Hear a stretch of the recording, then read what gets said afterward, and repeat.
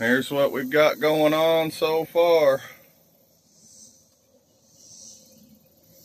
Kind of cleared a whole lot off of this that this dadgum bluff here. Got a lot lot more to do that way. As you can see, it's a jungle.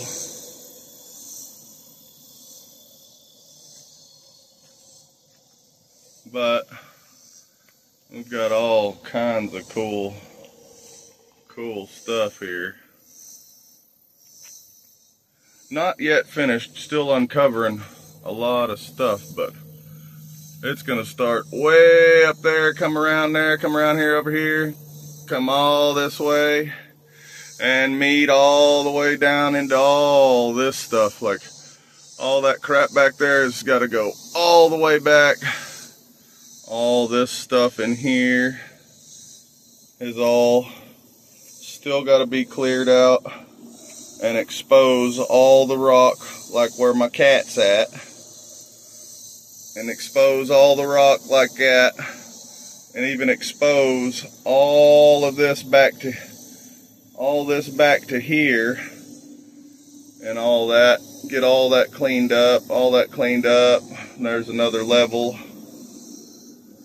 all that good stuff here.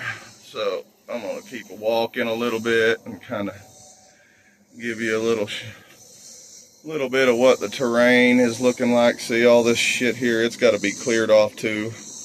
There's a lot of pretty ass rocks in here. Excuse the pool, my dogs and everything. But we've been working our tail off getting all this stuff over here exposed and well, I don't know if I want to call it boat alley or not, but it's going to go down there in around all them big ass rocks down there. All this stuff's got to be cleaned off. But down there is like a, a cave and there's one down in there somewhere. I just can't show you on the camera, but you can see right there, there's a cave there.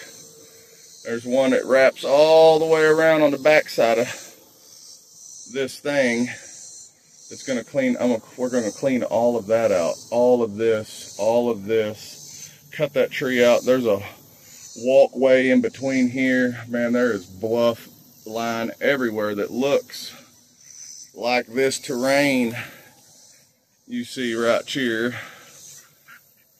We're going to have a lot of stuff like that in here, roots and rocks. I don't know if you call them roots. I call them roots because I'm redneck, hillbilly, I guess you could say.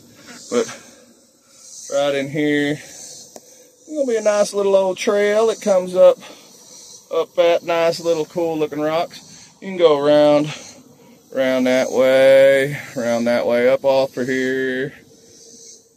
But as you can see, we may yank that damn boat out of there, pull it out, or you can't really tell, but there's a bluff edge, drop off, and those rocks right over here are really huge, and we might take that boat, set it up on top of there, once this is all cleaned out, there is a beautiful view that you can see for miles and miles and miles. But you can't right now because it's got a lot of greenery. But we've got a lot done. You can see we've got a lot more to do. And all of the, that, all that, and all that clean up so that we can all enjoy this cool shit. Excuse the chicken pen, that's getting moved too. But there's a teeter-totter. That pool ain't staying there. That old pool is not staying there. That's just chickens and ducks for now. But it'll go over that way, meander over that away, and there is the start line. It is not finished You come through here, come through here, come through here, big old net, come through here, come through, oh, excuse me, come through here, and start the terrain wherever the heck you want to. You can go all this way, you can go down the hill, you can come toward this right here. And yeah, that's about it. Hope y'all like it, and uh, hope uh, we might get some people to come enjoy this. So uh, please like and subscribe to see some more uncovering of this RC park in the making.